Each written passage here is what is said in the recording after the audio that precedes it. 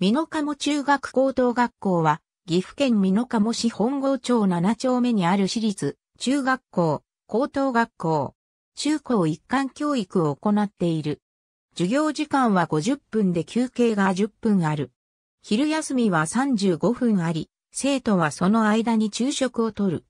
建設、ドリカムコースは原則7限目まで授業があるが、アドバンス、チャレンジコースは6限目までしかなく、希望者には週に3回特別授業を行っている。第1.35土曜日は登校日で2時間授業がある。この土曜日の授業は学校側の都合により行わないこともある。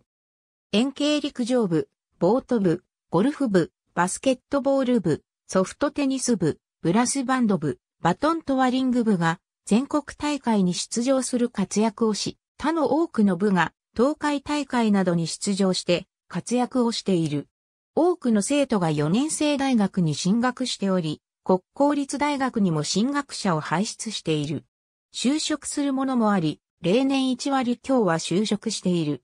国公立大学に進学する生徒の多くは、建設コースやドリカムコースの生徒で、アドバンスコースやチャレンジコースから国公立大学に進学する生徒は稀である。生徒の多くは自転車通学をしており、中には自宅から1時間以上かけて通学している生徒もいる。